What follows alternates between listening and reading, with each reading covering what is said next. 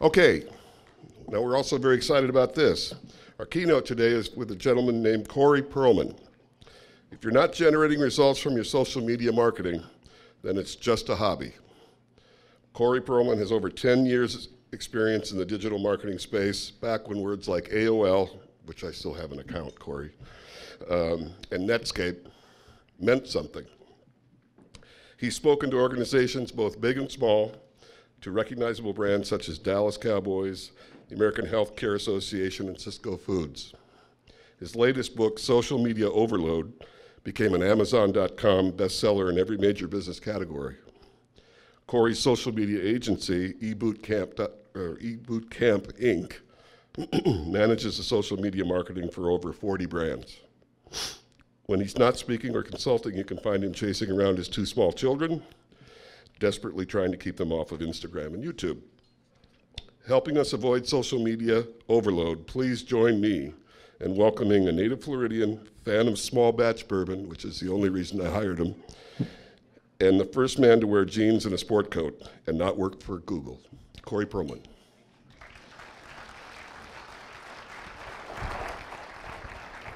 Thank you. That is, uh, I always say that's the hardest job. And so thank you for doing that so well. I appreciate it.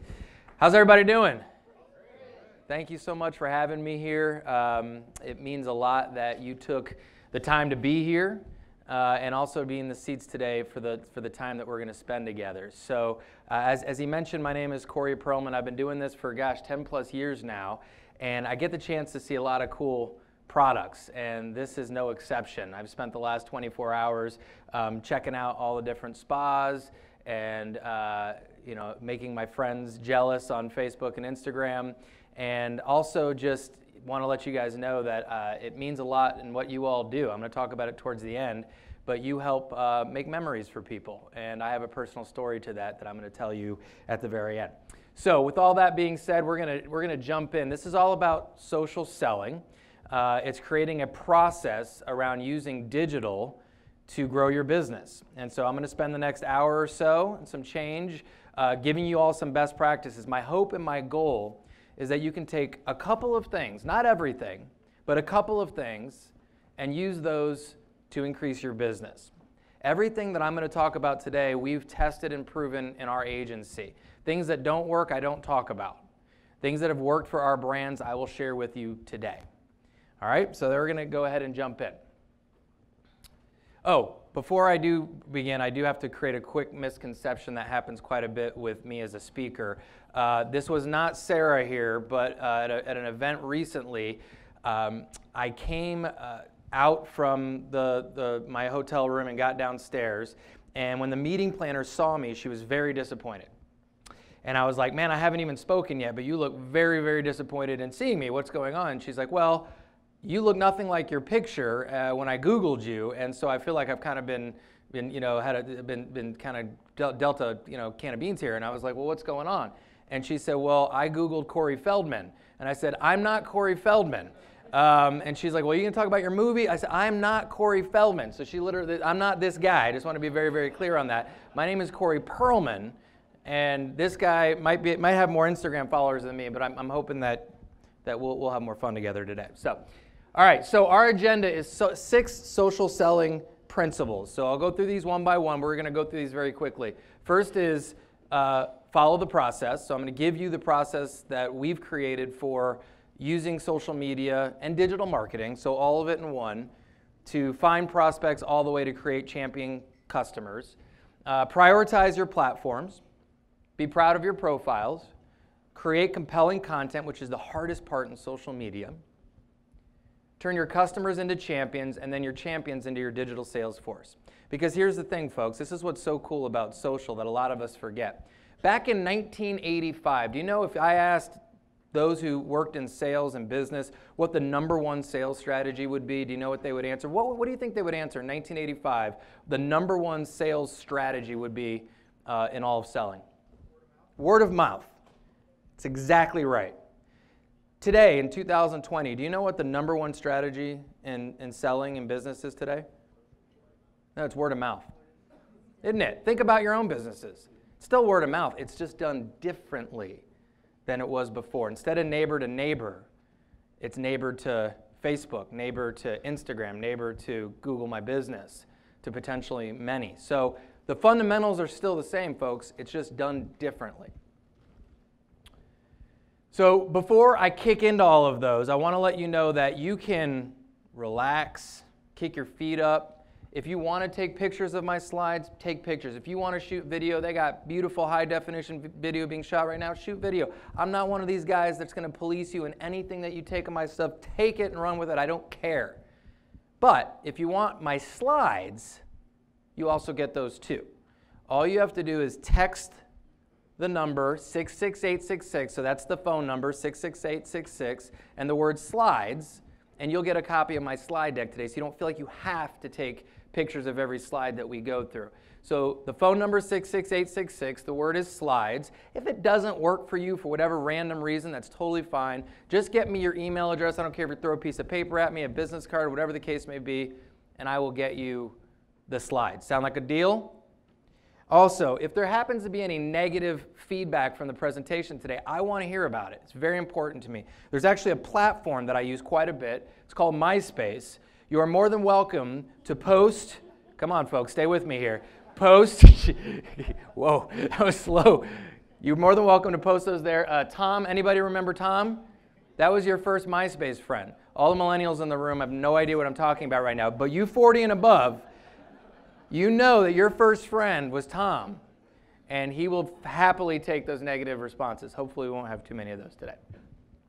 All right. So, as my friend Marcus Lemonis says from the Profit, I stole this little line from him trust the process. So, I want to give you what we consider the process is for doing digital and doing it well uh, on social. So, here it is. And again, I will send this to you, but if you want to click slides and take a picture of this, you're more than welcome to. But this is our social sales cycle. It starts with connecting, and you can write these down as you go along, and I'll give you guys some opportunity uh, to spend a little time with your tables and work on some of these things that we go through today. But number one is connect. So the first uh, area in the social selling process is obviously to connect with prospects, for them to be able to know who you are and to potentially be able to do business with you. So that's the first layer. They can't buy from you if they don't know who you are. So that's number one. But oftentimes we focus on in social media or digital marketing only that. We try to drive leads, we try to drive traffic, but we forget about the rest and we lose them throughout the process. That's why this is so important. So the first one's connect, everybody gets that. The second is strength and credibility, one that we often screw up. So they've found out about you, but now they're kicking your tires. They're checking you out on Google, your website, your social media profiles, your reviews, and you're losing them. And you don't know why you're losing them because they don't call you up and tell you. They just move on to the competition. So we're going to talk about how to strengthen that area. And then the third one is staying top of mind. They may be interested in getting a spa or a hot tub in November but they may not be ready to buy until April. How do you stay on their radar? How do you stay top of mind, as my friends at the back table talk to me about, without frustrating or annoying them? Social media is a fantastic way of doing that if we can create content that they deem valuable. And that's going to be the kicker. Okay, so that's the next layer. So after staying top of mind, we want to drive them to our sweet spot. So when they're ready to buy, how do they buy from us? So if it's an email marketing piece, if it's a video, if it's a piece of content of any form, how, how can we tell them where to go? Is it into the store? Is it on the phone? Is it over email? But we got to remind them don't make it difficult for people to buy from us. So at the end of the high value video that we're going to talk about later on, you always want to end with, and by the way, if you want to come in and take a look at our inventory, if you would like us to come out and see what we can do for you, here's how to do that. So you got to hold their hand as you walk them down the sales process. So to your sweet spot. The next one is building rapport. Don't love them and leave them.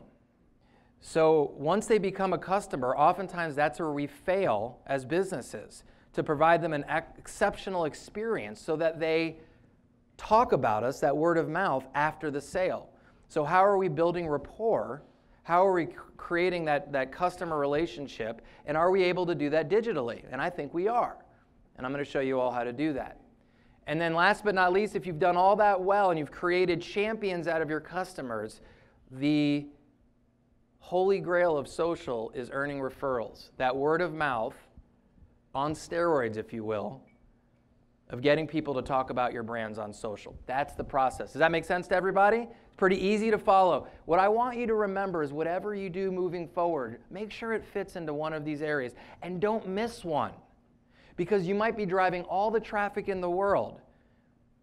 But if your website sucks, or if you got crappy reviews, or if I can't find your phone number, none of that matters. Okay? All right. Social selling principle number two is to connect on their terms, not yours. And I learned this uh, through an interaction I had on stage here a few years ago. I was talking to a group of people just like yourselves, and we had gone through Facebook and Instagram and some of the different social channels, and all of a sudden a question in the audience came up about Snapchat. So as I was answering this question about Snapchat, a gentleman in the room screamed at the top of his lungs and interrupted the entire session. This, this is a true story. It's as close as I've ever had to a heckler. It was really like scary at the time, but now it's funny. But back then it was scary. And so it wasn't being recorded at the time, so I decided to try to reenact it for you. But this is what the guy sounded like when the person simply asked a question about Snapchat. Ah!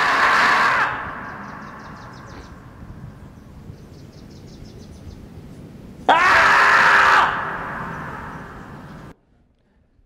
So everybody was kind of freaked out. Some people wanted to leave, but I was like, oh, whoa, whoa, what, what's going on, man? Like, you all right? You know, like, settle down. And he was just like, I'm sorry, Corey, I didn't mean to interrupt. Uh, I'm just frustrated. I said, all right, well, tell me more about that. And he said, well, I feel like I got my, my hands around Facebook and, and Instagram and, uh, you know, LinkedIn and Twitter. And now along comes Snapchat. And then my daughter's talking about TikTok and what else is there out there, man? I'm just getting frustrated. I said, No problem, no problem, no problem. Just tell me a little bit more about your business. He said, Well, I sell medical supplies to the elderly. So we had this like moment of like silent zen, right? Where I just sort of looked at him and uh, the room was quiet. And then all of a sudden you could see the light bulb went off and he's just like, wait a second.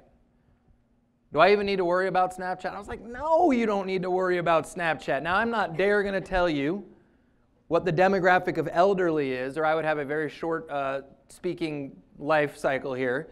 But I will tell you that that demographic, wherever it is, is not on Snapchat.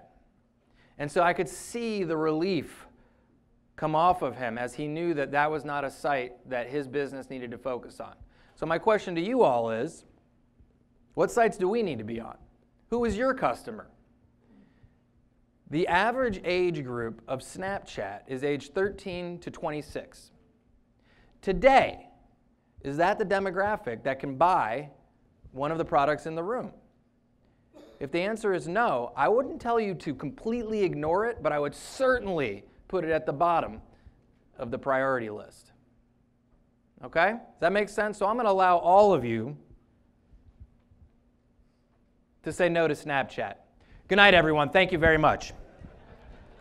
You're welcome. Yes. I got a couple hallelujahs in my last presentation there. Yes. You do not have to be on Snapchat or any social site unless it makes sense for your business. So then the question is, of course, which sites should you be on?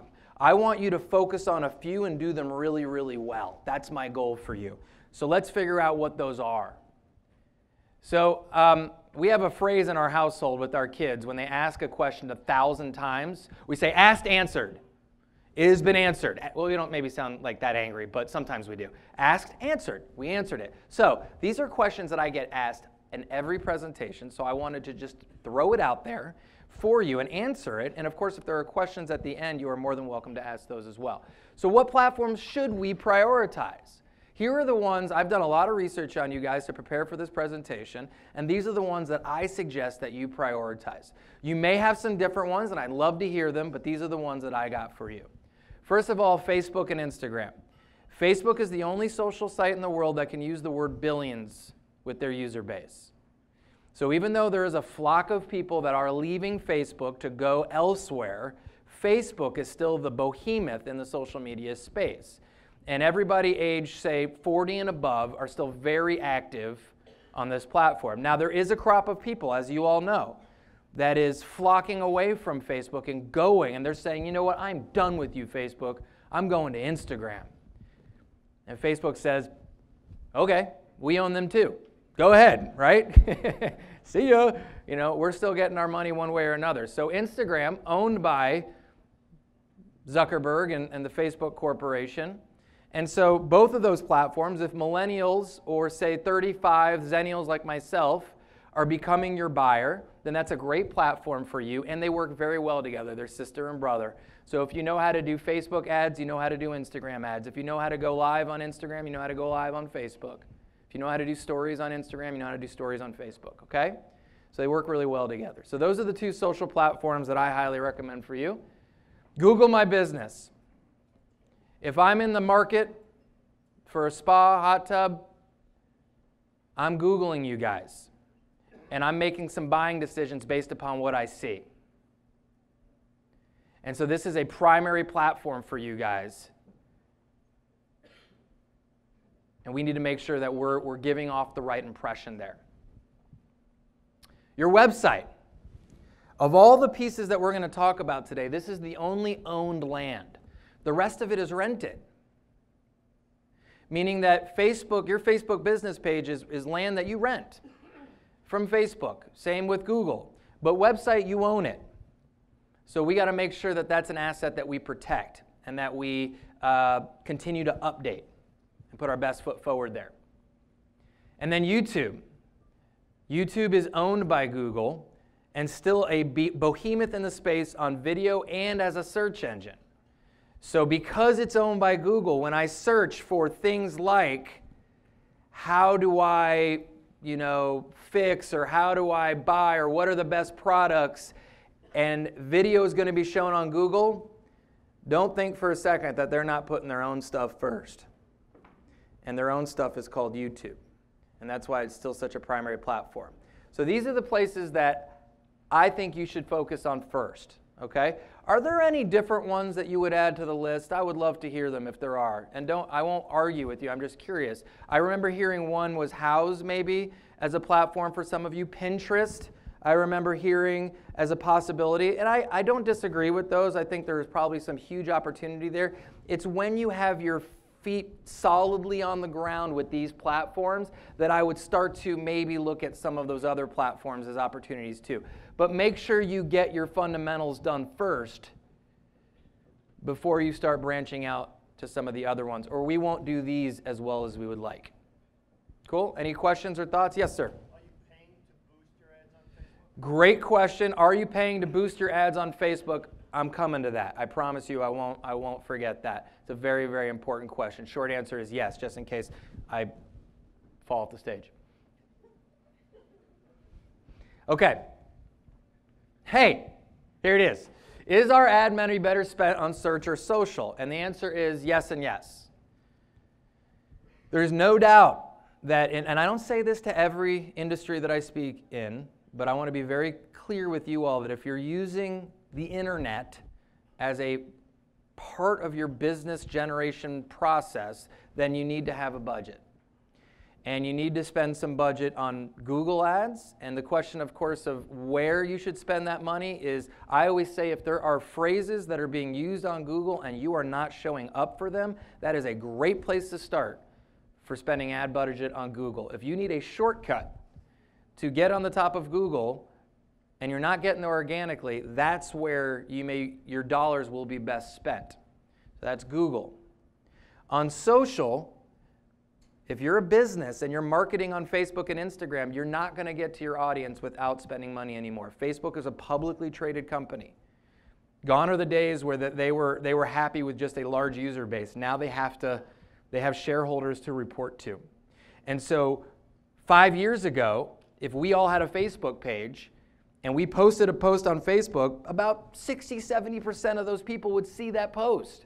Today, only like 4 to 6% without sprinkling the magic pixie dust, which is dollars. Okay, so yes, the answer to your question is yes. And I'll dive a little bit deeper in as we go along.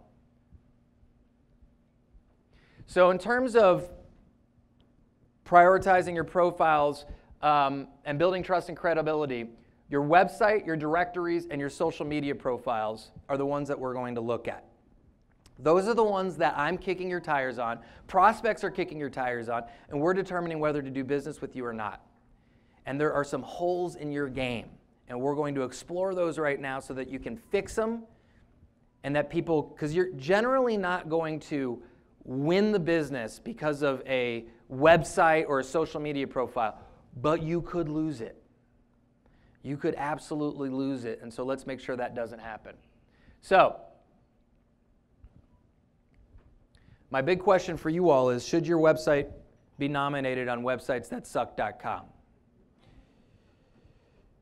So, I didn't tell Sarah or the Marquis Spas team that I was going to do this, but they did give me access to all of your websites. And so I know there are some awards later on tonight, and I want to give out the first award today. I'm going to give out the award for the website that I believe should be on websitesthatsuck.com in this room. Ladies and gentlemen, the website, I'm just kidding. I wouldn't do that to you guys. ah, man, you, I mean, you should see some of your faces. That was awesome. That is like my favorite part of the presentation, right? Because everybody's like, no, not me. Look, we all got work to do on our website. So do I. It's an ongoing process, okay? We all have fixes to make. I looked at uh, friends of mine that were, were traveling in on the same van together. Beautiful website. But they're making changes, right? You guys are making changes. But I looked at it. It's very, very nice. So there's, but there's some constant changes that need to be made, you know, year in and year out. But there are some major mistakes that I did see out there. So I am going to share those with you. But I'm not going to uh, harm anyone in the room as I show these examples. Now, if you do see your website here in a minute, it's because I'm complimenting you on something. Okay, so just be aware of that as we move forward.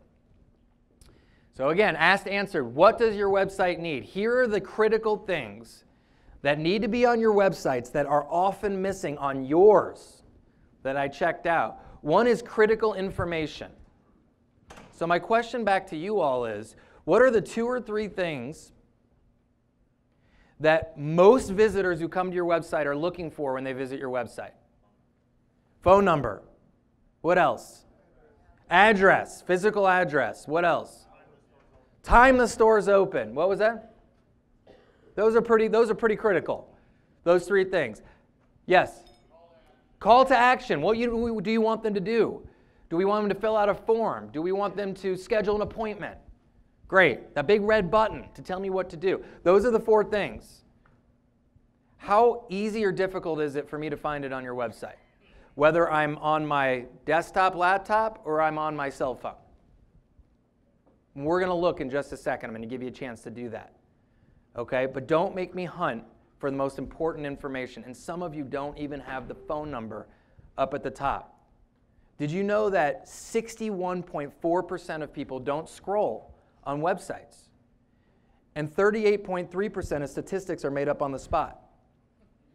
Thank you for getting that. I appreciate that. I have no idea what the percentage is of people who don't scroll, but I will tell you that some people don't. So don't make them.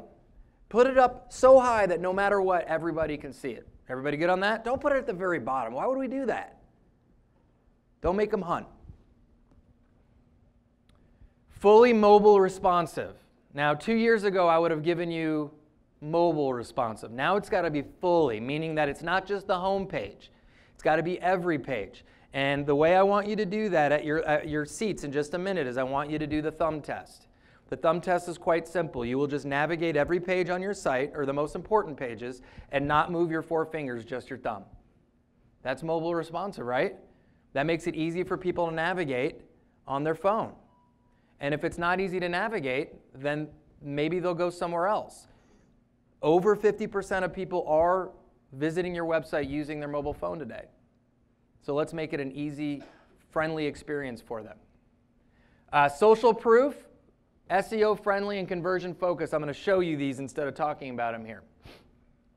So first of all, uh, this is one of your websites here, and I show this simply uh, for the fact that uh, critical information above the fold just like I talked about. And the call to action, by the way, uh, which is right here. Very easy to see.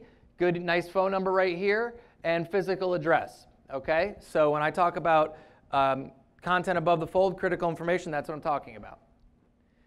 This is not one of your websites because I have a, a little bit of an issue with it, but a couple things about this website.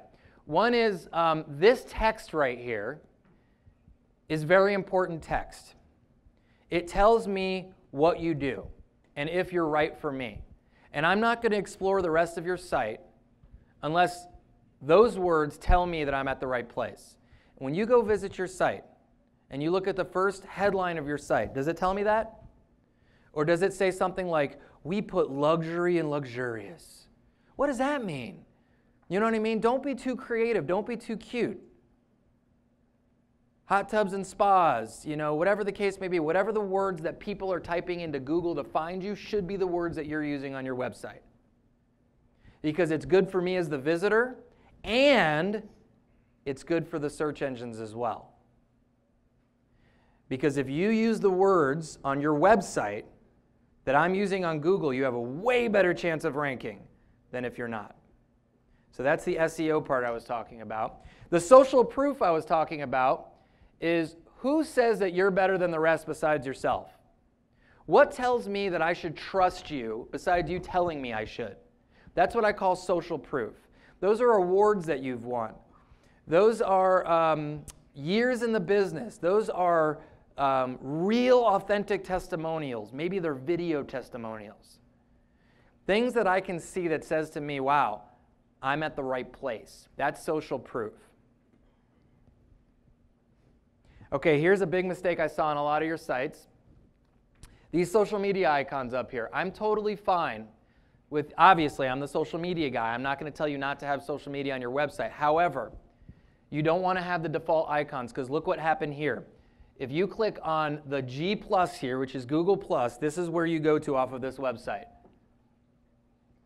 Google Plus is no longer available and brand, let's just have a moment of silence for Google Plus. Thank you. They no longer exist as a social network. So why would you ever take somebody away from your website onto a social site that no longer exists? So when you guys go check out your websites, make sure that you only have social media icons that you're actively managing. Cool, everybody? Makes sense? These are just easy things to fix. And then your call to action, as you mentioned before. So here's the challenge with these uh, interrupting pop-up boxes. When you see these pop-up boxes come up on your, on your computer screen, what does it do to you as a consumer? It pisses you off. Very fair statement. It's annoying. The problem is it's also highly effective. So there's a challenge as businesses that we don't want to annoy our customers, but we also really want to capture their information before they leave because if we don't capture their information, we can't stay in touch with them. So I've got an alternative for you that you might want to consider. It's called an exit pop-up. This, the reason I think pop-ups are so annoying is because they interrupt us at the wrong time. So instead of interrupting us at the beginning or in the middle of our experience, exit pop-ups go right when they hover over the X bar and they're about to leave. It pops up and says, wait, wait, wait, wait, wait. Before you go, can I offer you 10% off if you decide to work with us? Or can I offer you the 10, the 10 things you need to know before buying a spa? No matter if you buy from us or somebody else. Something of value in exchange for my contact information, and I was leaving anyway. So that's just a thought for you if you want to try to increase your opt ins for your website. Okay, those are your websites. Next, and probably maybe the most important thing we're going to talk about today, is Google My Business in your local directories. And that's just simply because until the whole new crop of buyers becomes the main buyer for you, us 30 to 60 year olds, 70 year olds who buy spas and buy higher end products like this are still going to Google and we're still using that search as a primary way of finding your business. And so you've got to pay clear attention to this real estate. It's Times Square real estate, it's really important real estate. So, what I want you all to do again at the break is I want you to um, check out your directories. These are the places that list your business as well as competitors before they go to your website. And the reason these are so important is they live on Google. I don't have to go to your website. I can do all my research right here. So Google My Business, which is the directory that's owned by Google, And then there's that one it starts with a, y- a Y. Oh, yeah, Yelp. Yeah, Yelp, uh, that's one, the, the mafia the internet. Can you cut that out of the video, please? I'd appreciate that. Uh, Yelp, everybody knows that, uh, that they can be kind of frustrating, right? Am I wrong here? Do you guys, yes, amen? Okay, we'll talk about them in just a second. Um, and then other, what are other directories? Any other directories that, that you guys have to pay attention to?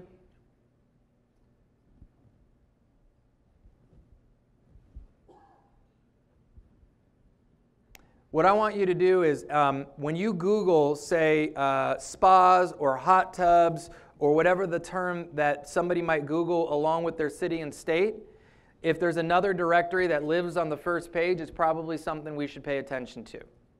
If it doesn't, then I wouldn't, I wouldn't worry about it because consumers aren't getting to the second page. Home Advisor, another one, what was it? Angie's List, yeah, there you go. So those are two other ones that you might pay attention to if they're commonly showing up. Okay, so the first one is figuring out where we need to pay attention to. The second one is to claim the listing.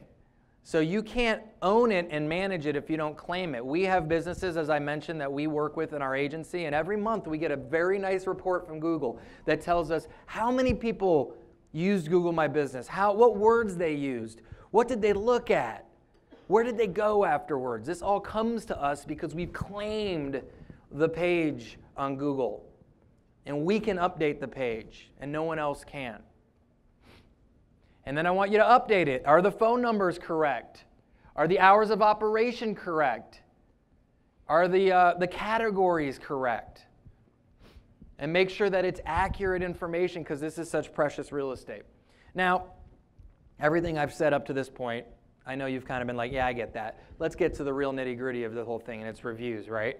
Because that, at the end of the day, is what's really determining um, what people are seeing and, and whether they're making decisions. And I know this is a very emotional part of your world, as it is mine too, by the way. Nobody likes to get bad reviews. And unfortunately, in the world of the internet, it's like people have uh, drank a lot of alcohol and all of a sudden they're just courageous as heck on the keyboard, right? So they'll say the nastiest things on the web and then you meet them in person and they're saints, right? So reviews are a really tough part of the internet. So let's talk about those. I want you to be proactive in protecting your castle. So I want you to think about your business as a castle. And reviews are like, positive reviews are like the moat around your castle. And these negative Norms and Nancy are trying to attack your castle. Stay with me here, folks. And every good review you have is just increasing that moat so that they can't get past it, right? That's what we're trying to do. We're trying to protect our castle. And it's not just on, sorry, no, I'm going back and forth. It's not just on Google and Yelp. It can also be on Facebook. You can do reviews on Facebook. It can also be on things like Glassdoor or Angie's List or other places that I'm not talking about. So just know the concept and don't worry so much about the directory that I'm referring to. And we don't need to motivate people to write negative reviews. They are already motivated, they're fired up. If you want to have some fun, just go check out some of the crazy things people put on the internet when it comes to reviews. They're super creative. This is Ford's Theater, and this was done by a person named Abe L. We'll call him Abe L. He gave it two stars. Was murdered here. Would not recommend. Very creative, right? I mean, people, Yelpers are very creative. Um, you can't satisfy everyone no matter what. This person says, beach is too sandy, but the water's clear. The beach was too sandy.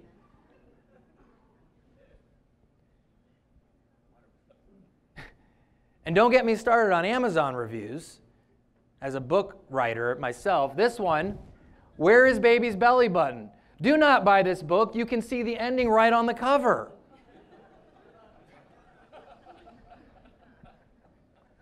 What is wrong with people, right?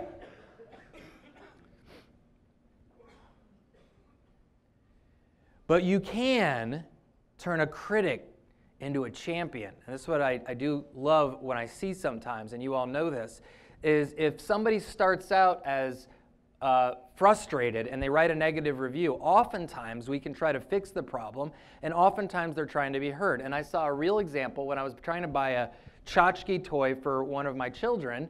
um, I noticed it here, and it started out as a very negative review, and it went up to four stars. And if you read the review, which I did, deciding whether or not I was going to buy this as a Christmas present or not, they were very honest. And at the very end, it says, I have to update my review, leaving four stars due to initial trouble. So the seller got back to me right after I posted, and on and on and on he goes about how they fixed the problem. And that actually, as a consumer, made me feel even better about the business if I didn't even see this review at all. So just be reminded that it is okay to try to help and do the best you can to fix because oftentimes we can turn a critic into a champion. But I also recognize that sometimes you can't. So let me give you a couple things about negative reviews before I go to positive.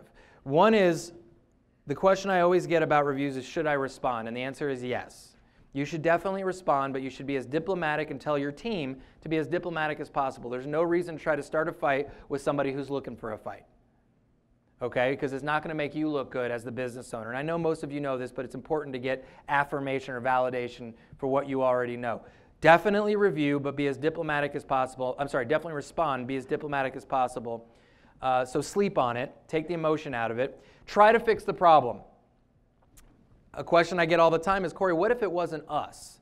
What if they were just, what if it's a competitor? What if they were just wrong? Still respond. Try to get it removed from Yelp and Google, but I know that's a pain in the butt. So at least respond and be diplomatic in your response.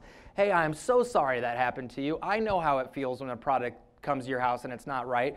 Unfortunately, we looked at our system and, and this isn't our business. This isn't, this isn't something that we did. I'm, again, terribly sorry it happened to you. I hope you find the right business. Again, sorry, something to that effect. You'll do it better than me. And end it like that. Okay, but at least you know you get to show your stuff, but also not look like you're you're being super defensive. So always respond and try to help. If they come back and they want to fight you some more, try to take it offline. Hey, you know, I noticed that we're, we're just not able to, to fix your issue here, and I'm really sorry about that. Uh, if you'd leave your phone number, uh, or I'm going to give you mine, would be happy to discuss further over the phone, and then take it offline. Okay? So that's my recommendations when you do, if you do get negative reviews. But more importantly than that, what I prefer you do is to not spend so much energy worrying about the negativity and spend more energy worrying about the positivity. Being more proactive in getting positive reviews. So let's talk about that. What is your process for getting positive reviews on these sites that we've talked about? Do you have a process? If not, you should. Timing is everything. The best way I can illustrate that is my first ride. Now, do I have any Harley riders in the room here? A couple of Harley riders. So you guys will understand. We're kind of one and the same. We're family here. Um, the only difference is little, little, little tiny difference here, but um, I drive a scooter. But other than that, me and Harley were pretty much the same, right? You guys know what I mean. So once I got this bad boy, cherry red, you know what I'm saying? I was going like the first ride was amazing. I mean, 25, 30 miles per hour, um, downhill, you know, as I'm sort of trying to get going. Uh, the most awkward thing is, first of all, I bought the real helmet, you know, like I'm even going fast enough to hurt myself, but that's fine. But the, the, the hard part for me was when I would pass by Harley riders on the, on the side streets that I drive on because I can't go on regular roads, but you guys get what I mean. Um, is some of them would wave to me, and I don't know if I'm supposed to wave back or not because I got a scooter, you know, so I'm like, should I, you know, I don't know if I'm part of the family or not. I know I'm probably not. But anyway, the point was the first ride was awesome. That's when they should have sent me an email or got to me and said, hey, Corey, how was your first ride? It was amazing. It was awesome. I can't imagine if I'm going 30 miles an hour and having the time of my life, I can't imagine a real Harley experience. Your first ride. What about their first dip? Do you guys have a process for the first time they go in and, and experience their new tub, their new spa? So we're talking about that a little bit more, but I want you to be proactive in getting positive reviews. Are you asking them though on like Facebook and you're sharing that they have a hot tub, or you just calling them because then nobody else is seeing it? What are you? What are you Good question. So the question is, is where am I getting those reviews from?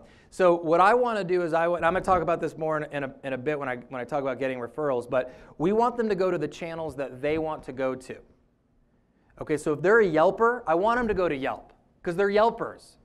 If they're a GMB or a Google My Business, then go to Google. If they love Facebook, go to Facebook. Give them some options. So this is what I want you to do. I'm going to answer your question for you. When a verbal testimonial or when you have a happy customer, I want you to have a process, whether it be the installer, whether it be the salesperson, whatever the case may be, to know the buying signals, know when they're ready, and to have a process to get that review. So if you have somebody who says, um, you know, I just want to let you guys know that was the best experience from, from sale to, to getting it in my home I've ever had. You guys rock. I would say, thank you. And the best way to thank us is to review us and maybe have a card, have something to be able to give them, an email to make it easy for them to review you. How many of you have a process like this? Raise your hand. About 20% of the room. Okay? So let's make that 100% of the room. Let's have a process in place that when anyone within our company hears positivity verbally, that we turn that into a written review online. Write this down, folks, if you don't mind. Never let a verbal testimonial go unpublished. Never let a verbal testimonial go unpublished. That's tweetable if you're tweeting along with me. All right? And then your social profiles, as we start to move more heavily into social here. Um, are they updated? Or are they being are they collecting dust? Are there profiles out there right now that you have out online that are not being updated? All it's doing is diminishing your credibility. At minimum, it's just doing nothing. But at the worst, it's actually maybe sprinkling in doubt to a potential buyer if they were to kick your tires on Instagram or Snapchat or another site and you're just not using it at all. Three followers. Do you, are you a real business? Um, are you out of business? You know, what's happening here? I'm getting a little concerned. So go look and make a determination whether or not you're going to actively manage it or delete it. Okay, how are your numbers there? Do you have a Facebook business page that you've had for three years and only have 21 fans? then let's create a process to build the numbers because numbers matter. You don't have to, as a, as a spa business, you don't have to have thousands of followers, but you know what looks good and what doesn't look good. A couple hundred, maybe a thousand, you know, have some sort of process of collecting fans if it's a place that you're spending time on. And then if you're getting messages there, what is your response time? If I go to a thing and I see, hey, um, we're having a little bit of an issue with our blah, and I don't see a response as a potential customer, that could be a problem. All right, so those are the things we want to look at on our social profiles. All right, so we're going to take a digital audit little break here. Stay in your seats if you could. If you have to run out and use the restroom, I totally understand. This is we're together for about 90 minutes, so uh, I'll give you 10 minutes. Okay, so if you got to go, go. But spend time at your tables on your phones, checking out your websites your local directories and your social profiles and look for holes. When I say holes, sorry guys, when I say holes, I mean do the thumb test with your website. Look for directories that have very little reviews. Because keep in mind, folks, if you have your Yelp business or your Google My Business and you only have three reviews and they're all positive, congratulations. But if one bad review comes to you, what's the percentage of bad reviews you have now? 25%. I mean, I went to FSU, so Florida State, so my math's a little, but you know what I mean. About 25%. But if you have 240 reviews and one review comes, no big deal. That person looks crazy. So look for the places where you have problems. And your social profiles, if it's not being updated, consider hitting the delete key. Okay, so it is approximately uh, 1143. And so let's go to 1155, and I'll walk the room for a second, and let's do a digital audit of our profiles and make some uh, decisions on what we're going to fix. Okay? Everybody got the uh, activity? Begin. All right, everybody. I know you got another minute or two. Feel free. I, I'd start, but um, is anybody coming up as people are coming back? I won't start just yet, but any um, any big ahas that we're seeing? Yeah? Heck yeah, I heard a heck yeah. Okay, that's good. Um, maybe some vulnerable spots. I noticed a couple of mobile versions of your site that aren't showing up as clearly as you might hope or wish. I noticed a couple ones where on the big site, they show up on the right or the left, but on the mobile site, they're all one line. So then all of a sudden it looks a little confusing. So you have to tell your programmer that you need different headers for your mobile site because there is no right or left. So it makes sense on the big one, doesn't make sense on the smaller one. So those are the kind of things, this is really important. I know it's like, well, you got a thousand different hats to wear, but spending a little bit of time on your baby, which is your website, to make sure that your consumers are having a good experience is really important. All right, so let's keep on moving. We're uh, more than halfway done. You guys are doing great. So, so far we've talked about uh, the process, we've talked about prioritizing your platforms, and we've talked about protecting your digital assets. Now we're going to talk about content. To me, which is the most challenging part of digital marketing social media, is creating content that people actually want to read, watch, and engage with. So, what I want you all to think about is are you phoning it in? And I get why a lot of businesses do this. It seems like a necessary evil. It seems like something that we just have to do, and to be able to keep it up consistently is a lot of challenge. So, instead of ignoring it, what we do is we just throw stuff up there and hope that it sticks. And, you know, I get that. But what I'm hoping to help you with today is to create an efficient process to create content that people actually want to read and want to, want to look at in an efficient way. Um, a big thing that I want you all to keep in mind, so I'm going to try to give you some, some kind of big takeaways here that I want you to take back to your team. One is value over promotion. These are social media. By definition, the first word is social. So we have to remember that we as consumers are not there for business reasons. We're there to socialize with friends, to see what's happening, to see what people ate for dinner last night. I know, yada, yada, yada. But they're typically there for non business reasons, and you're interrupting their day. So to sell me a spa or to sell me a product is probably not going to do the work. So what we have to try to figure out is how can we add value? How can we be a resource to people? How can we add value to their lives in one form or another, even though we're a business? That's what we're trying to accomplish. And it's the old 80 20 rule 80% value, 20% promotion. Yes, there are times where you're going to want to show a new Marquis Spa product line that just came out. Absolutely. But that's because you've earned the right over the past couple of months of showing tons of value. And that's why people stay. So, asked, answered. What type of content gets more engagement? I'll tell you what type of content gets more engagement. Ones that is authentic and transparent. One example that I've seen just recently is uh, UPS. How many of you seen the UPS dogs? Raise your hand. A few people.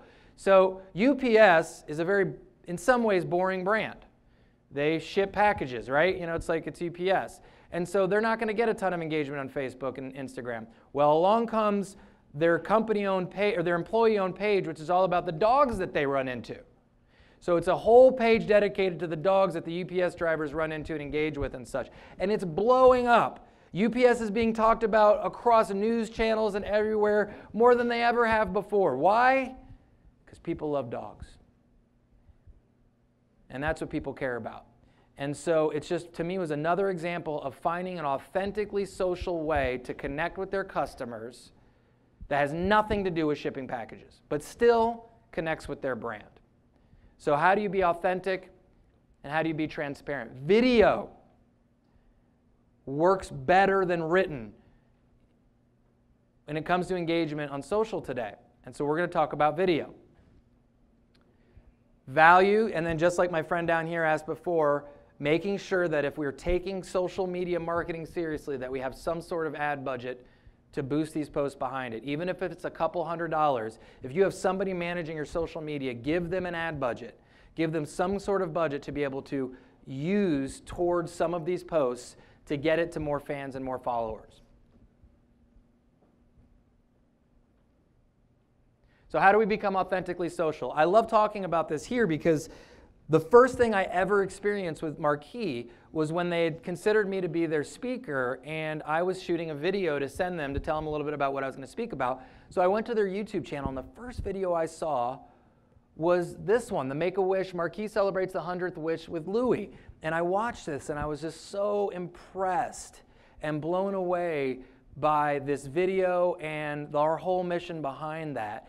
And it's a perfect example of being authentically social, meaning that we as people today, more than ever before, I think that the new generations, and I'm not a generational spe- speaker, but millennials and xennials and, and, and these folks that are coming up uh, behind us, they, they want to know that they matter. They want to know that the world matters, and they want to know that the brands that they work with matter. And so, keying into some of this stuff is very, very important and, and is going to work really well when it comes to your digital marketing strategy.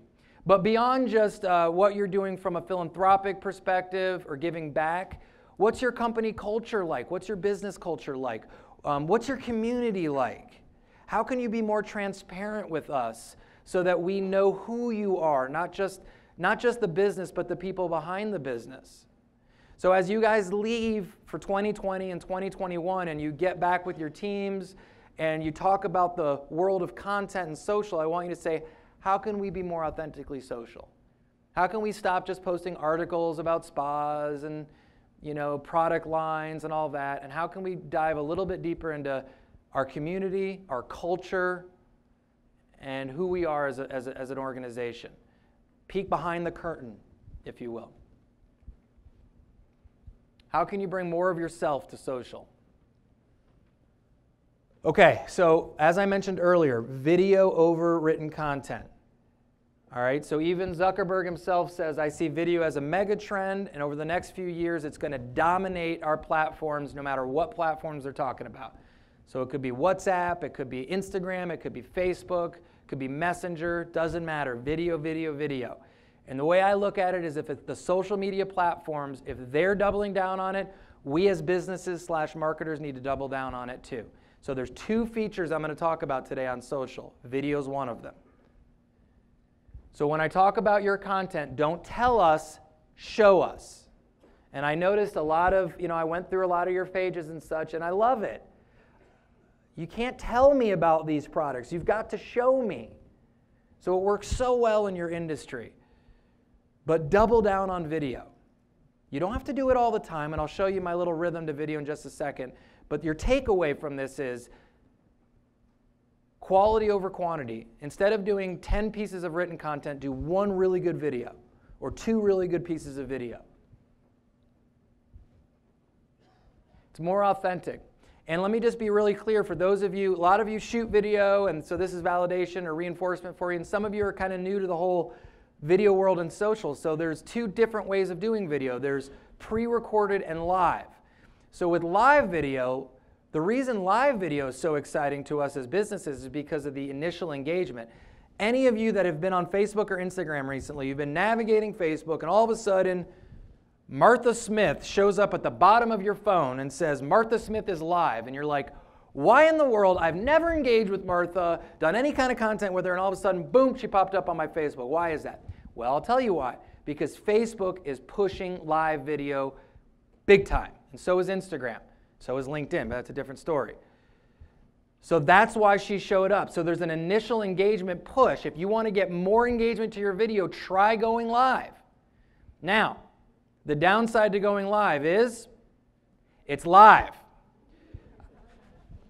Let me just be really clear. It's live, okay? So what happens after every one of these presentations is I watch your videos, and halfway through, somebody's like, you know what? I, am not feeling it. Can you just, let's start over. No, you can't start over. It's live. People are watching right now. Okay, so just remember, it's live. You can delete it, but people had the chance to see it during that, that, that interaction. And that's also really exciting because as you're, you know, touring a new product or, you know, showing people behind the scenes or doing something that might lend itself to live, people can interact with you. And that's really neat. In the beginning, you'll be clumsy and you won't understand it. And it'll be like, is somebody commenting? I don't know if they're commenting. But after you do a few of them, you're like, oh, Stephanie, yes, absolutely. Hey, Stephanie, yes. Yes, we actually do have multi-jets here. Or, yes, it does play music. Like, here, I'll play it, watch. And you can interact with them, which is so cool. So that's live. Pre recorded has the opportunity to edit and make it look really good. So that lends itself to, you know, maybe it's a, a product um, tour that you want to do and you just want to make sure it's tight. So that's pre-recorded. It's going to live on your website. It's going to look on your live on your YouTube channel. You're going to use it over and over and over again. That's pre-recorded. You could put subtitles to it, that type of thing. Okay, so there's pluses and minuses. And my goal for you, or commitment that I'd love for you to, to work on, is to do one piece of episodic video content per week or per month, if that feels a little bit more doable to you. But what tends to happen is you get excited about video, because I, I told, I encourage you to do it, but then you do it once and you don't do it again, and you, you, you wonder why it didn't work. It needs to be consistent. So some sort of video per week or per month that can build off of each other. Last week we showed you this. This week we're going to talk about this. And next week we're going to talk about this. And you get into a groove. And that's how people start to get connected with it and like it, especially if they're in the mode of buying a spa or a hot tub. Okay? All right, so many people are watching these videos without the sound on. Even on Instagram, as they're flipping through Instagram, Videos are auto playing without the sound. So if you want to get more engagement, we've got to get the words on the screen, and this is a great tool to do it. So if you're an iPhone user, uh, it's called Clips. So write down the word Clips. And this will automatically put words underneath your video as you say them, as I'm about to show you here. And if you're a uh, Android user, well, I don't have anything for you. No, I'm just kidding. Uh, I'm just kidding. Subtitle is, is um, one that I've been told. I'm an iPhone user, so I haven't used it, but that's what was recommended to me, so I'll share that with you. But this is what it looks like. Hey everyone, it's Corey Perlman with just a quick, cool tip for you for shooting uh, video. So I'm playing with a new tool for me called Clips. Uh, it's on your iPhone app, and it enables us to shoot video just like this uh, but also puts these transcriptions, uh, subtitles, whatever you want to call them, right in uh, automatically. This is actually happening. I'm actually reading what I'm saying to you as I say it. And it's pretty accurate, I must say. Okay? So that's clips, and that's pretty neat. And now I will tell you that they it will say words or, or write words that you didn't say. Like whenever I say LinkedIn, it thinks I said Lincoln.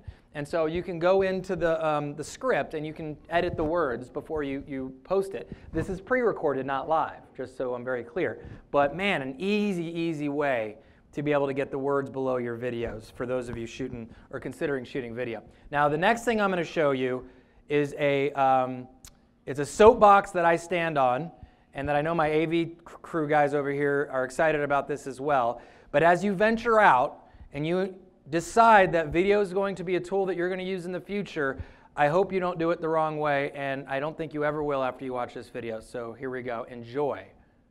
Hey everyone, it's Corey Perlman with just a quick, cool tip for you for shooting. Uh, that was a joke. Of course, I wouldn't show you the same video. No, I did. I showed you the same video. It's this one. Sorry. Meh.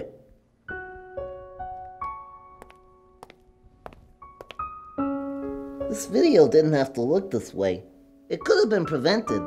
Say no to vertical videos. Vertical videos happen when you hold your camera the wrong way. Your video will end up looking like crap. there are more and more people addicted to making vertical videos every day. It's not crack or nothing, but it's still really bad. There are two different kinds of people who are afflicted with VVS. The first group treats the videos they shoot like pictures. They don't mean any harm. They just don't understand that while you can turn a picture, you can't really turn a video. the other group is people who don't give a Vertical video syndrome is dangerous. Motion pictures have always been horizontal. Televisions are horizontal. Computer screens are horizontal people's eyes are horizontal. We aren't built to watch vertical videos. I love vertical videos! Nobody cares about you! If this problem's left unchecked, YouTube will begin showing four videos at once, just to save bandwidth. Letterboxed vertical videos would be the size of a postage stamp. and it will spread everywhere. Movie screens have always been horizontal. If vertical videos become accepted, movie theaters will have to be tall and skinny. And all the movie theaters would have to get torn down and rebuilt. And by the time they were rebuilt, Mila Kunis would be old and ugly. And birds will crash into them and die. And we will all get stiff necks from looking up. And no one will sit in the front row ever again. And George Lucas will re release Star Wars again! The skinny edition! I was never really able to tell the story that I wanted to tell. This is a great chance for me to experiment with a new technology. You're a jerk.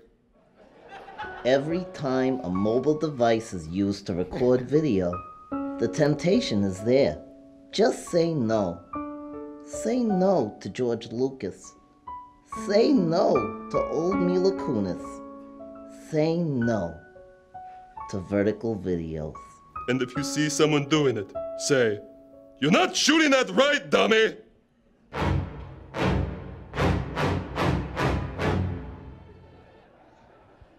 All right. Yes. Yes. Thank you very much. Um, couple caveats. A Couple uh, apologies. First of all, there's children in the room. I heard. Sorry about that. There's a couple. Uh, I think they blurted it out, but that's as dirty as the program gets today. I promise. Um, and second of all, to my, uh, my, my friends from, from afar who uh, were translating here and may have not been able to translate that, the, the bottom line to that message is to shoot horizontal. And I want to be very clear on this because there are times that shooting vertically makes sense. Uh, if you're doing selfie videos, you know, if you are Snapchat or Instagram, there are definitely times where vertical makes sense. The part that I'm talking about mostly for us is when we're shooting outward to make sure that we encompass the whole screen when we're shooting video. And many of you have seen this when you're on different social platforms and such that there is so much opportunity to be able to see the beautiful products and things that you're showing if you just would have went horizontal instead of vertical. But that's the nature of the message. Okay, almost done. We're heading down the, the, the, the, the downside here. Um, the other feature that I want you to at least pay attention to or walk away with the idea that it's important are stories. So I've talked about video, and now I'm talking about stories. And again, I only bring you things that I think are important enough for you as a business to understand. And the reason I think stories are so important is this watch this. Now, there's a whole crop of us in the social media world, ages 40 and above, who have spent our entire existence on social media navigating news feeds like this, right? This is what we do on social. We navigate just like this, and we probably always will. But there's a new crop of people, age 40 and below, that they navigate social in a different way. They navigate going like this, actually like uh, left, right to left, left to right, almost like they're reading a book, or clicking like this. So it's going this direction, not this direction. How, is there anybody in this room that basically only looks at stories and doesn't even look much at the news feed anymore on Instagram? Can you raise your hand?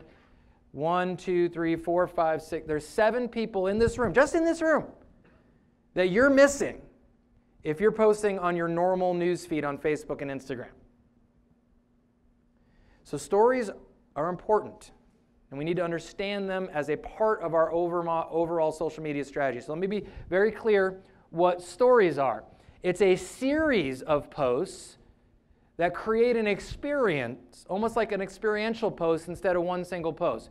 So instead of a spa, it might be a series of pictures and video potentially that create more of a story about the spa. Okay? So it lends itself to different things. So I'm shooting a story as we speak for this event. It works really well when it comes to events. Before, during, after, series of pictures. You'll see all kinds of Marquis Spas and all kinds of things, your pictures and all book signings and all this stuff on my story. Okay, it just lends itself better than one single picture or maybe a montage of pictures that would be in a post. All right? Stories live for 24 hours. And here's the, here's the kicker that you got to think about. You may say, well, that's Instagram, Corey. I want you all at the next break to go to Facebook and look at what's at the top of the screen. Do you know what the top is? Stories. Like 33% of the real estate that you have on your phone right now is filled up with stories, whether you're looking at them or not. So it's a big part of the real estate on the two social networks that we're paying attention to. So, stories and videos. When you guys go back to your offices, have a meeting around those two things. Who can take on stories? Who can be in charge of maybe once a week or once a month doing a story on our social feed so that we can get into that practice and reach that audience as well? Okay? I just said all that. And my Instagram handle is C Perlman if I haven't said that already. Here's Facebook, what I was talking about. These are the stories that you can click through. Both businesses and individuals can post stories. And here's the other thing you want an efficiency tip? You can link Facebook and Instagram. So if you create a story on Instagram, you can make it so when you hit publish, it automatically goes to Facebook. Oh my goodness. That makes its life so easy. Instead of having to create a story on both platforms, you just create one on one.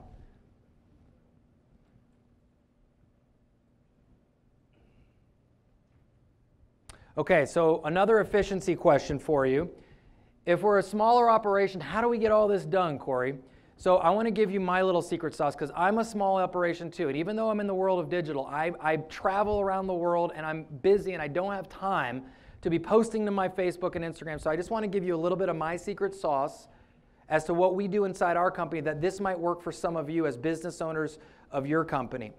I look at the one thing, like Curly said in City Slickers, the one thing, my one responsibility as the resident expert of my business, and if some of you are the resident experts of your business, is to create one piece of meaty content a week. So that's all I have to do is create one video, one blog post, something of material for my team to be able to slice and dice and create social media content. So if you so if some of you in the room are the social media posters and are looking for content, you got to go back to some of your team members. You can just say, once a week, or maybe once every other week, could you create one two to three minute video for me that would share some value from your brain to that screen? I'll take it and I'll run with it. So that's what I do. I just concentrate what's one thing, one thing I can do that I can talk about online that would be of value to my audience. And then my team or your team or whoever's doing your social can take it and run with it. And this is what we do. Oops. Sorry, guys. Can you put that back up? My bad. I hit the wrong button. First time doing this.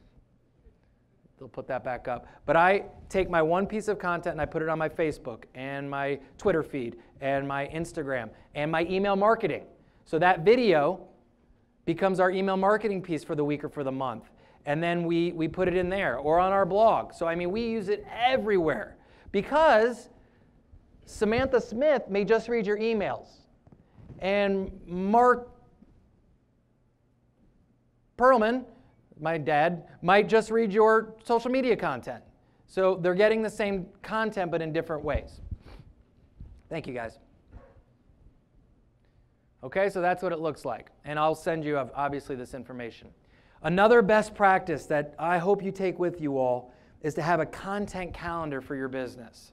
How many of you, by raise of hand, know that you have a content calendar for your digital marketing content? I knew you would, yeah. So that works really well for you and your company, right? So you guys use this, and, and it helps her. She handles all the social media to keep everybody in the loop. Just imagine for a second that if everybody knew that on Tuesdays was Testimonial Tuesday. So on Tuesdays, we always have a testimonial go out. The sales team knows it, the installers know it, the general manager knows it, and so if social media person's running out of testimonials, she could shoot, hey, it's Testimonial Tuesday. Or maybe, um, you know, one of the installers says, hey, guess what, everybody? I got you a Testimonial Tuesday, and they send it over to you. Everybody's working on the same thing. Whenever I see that the business owners or executives are disconnected to what's being posted on social, bad things tend to happen. So I would highly suggest having a content calendar and having meetings around this. What's coming up in the next couple of months? What can we use for Photo Friday or Community Thursday or whatever your calendar has? But if you guys have a calendar, it keeps everybody on the same page and it will make the people who are doing your social media lives so much easier. Am I right on this? Having a content calendar, she's giving me a big thumbs up. So take action. In what ways can you incorporate more video? Maybe a, one, a weekly or monthly segment. What could be your one thing? Is it a frequently asked question that you get every, that you that you answer every week or every other week? Is it a new product that you highlight? Is it a weekly testimonial from a client? I'm sorry, or from a customer?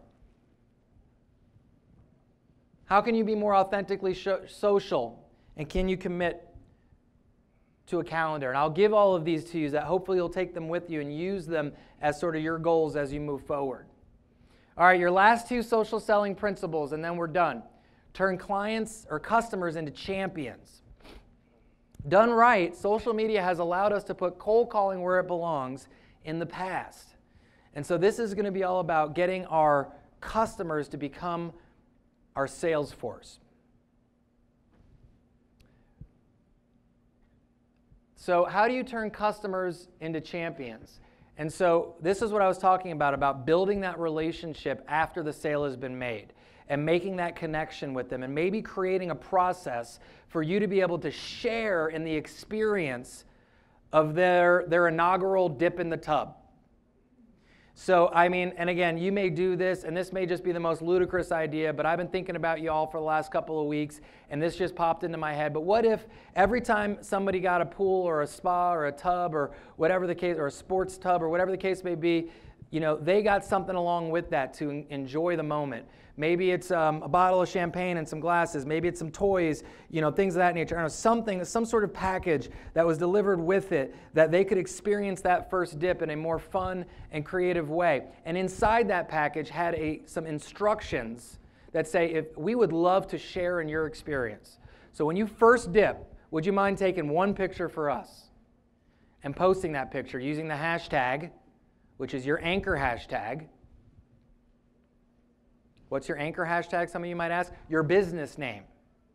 So I may not be, let me just be very clear with everybody on this. Your anchor hashtag is very important. If I'm not, if I'm your customer and I share the most glorious testimonial of all time on my social and I use your hashtag, you have the chance of seeing it. If I don't, you may never see it. And that's the most sad thing I've ever said in my entire life. That would be terrible.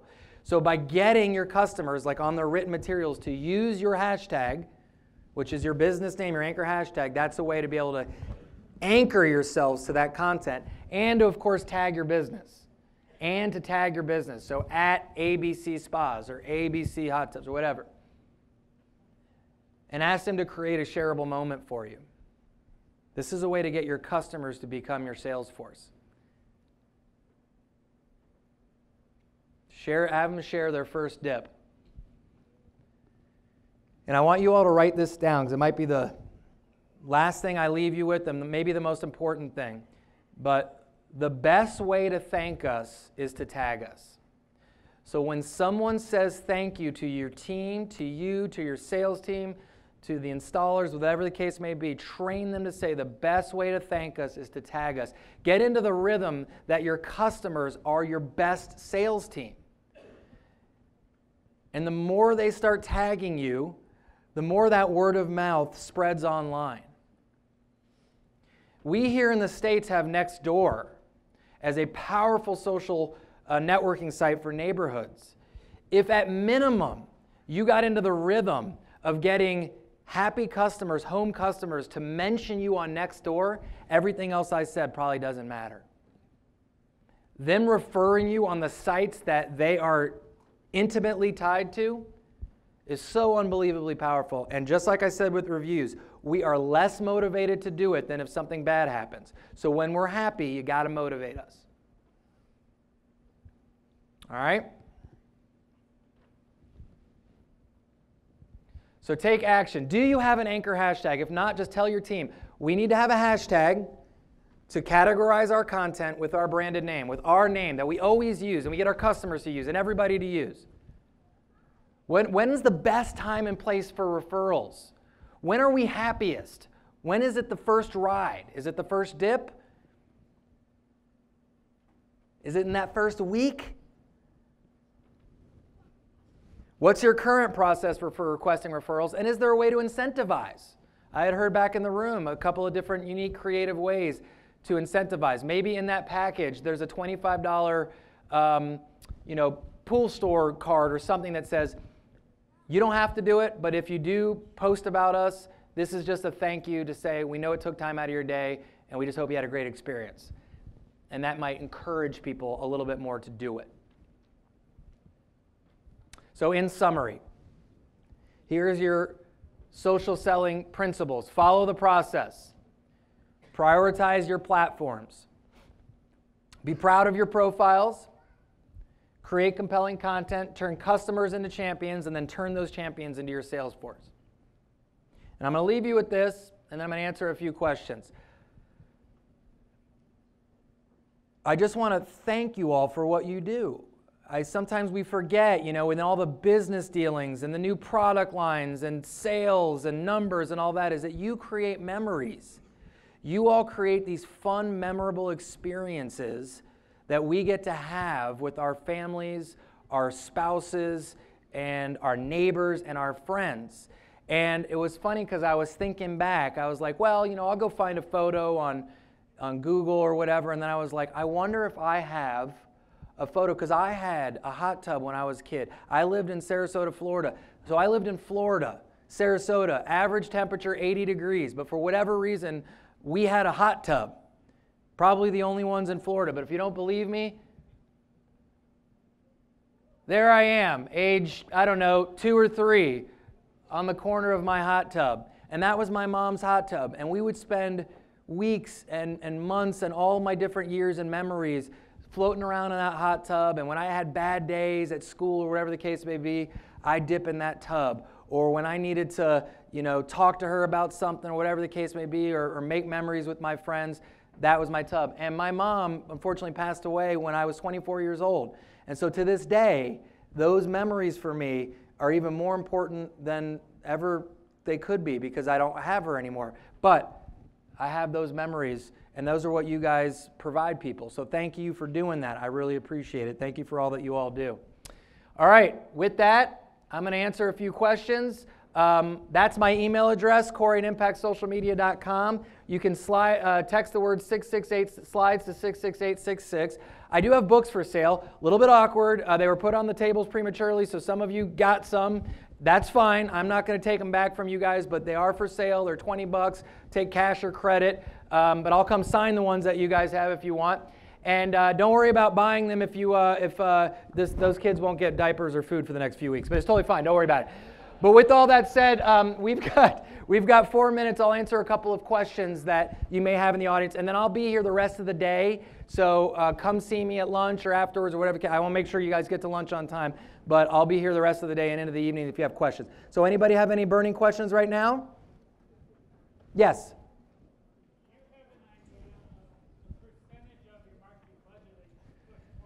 Yeah, so the question is uh, marketing budget, percentage of marketing budget towards online. It, you know, it really it, it, would depend on your results, I would say. So I would start light, obviously, if you're doing traditional and um, you know offline marketing and things of that nature. I would start to move a little bit more into digital and then watch the results and be very careful that you're measuring the results. Results can be a little tricky with marketing, so uh, eyeballs to your website um, referring sites from your website, but make sure you have some tracking measures in place and increase that percentage if it's starting to make traction for your business. Um, but I always tell small businesses start with a couple hundred bucks. I'm not asking you to spend thousands on something that's unfamiliar to you, but start small and grow it as it starts to hopefully work for you.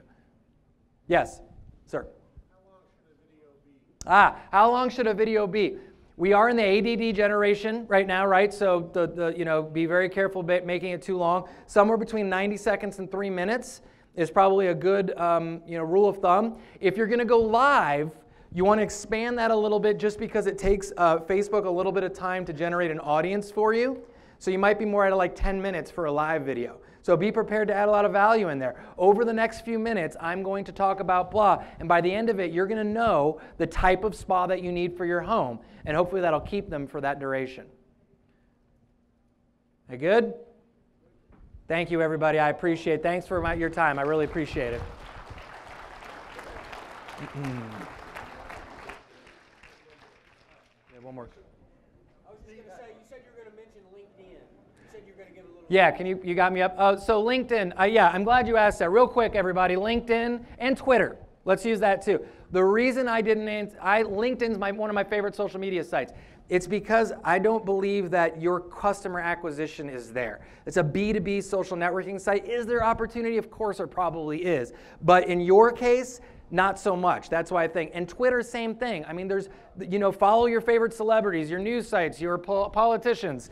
But in terms of moving the needle, Facebook, I'd probably prefer, and I think she would agree with me, who uses uh, Pinterest a lot. Pinterest is probably better for you guys than uh, LinkedIn and Twitter, okay? All right, now I'm gone. Thanks.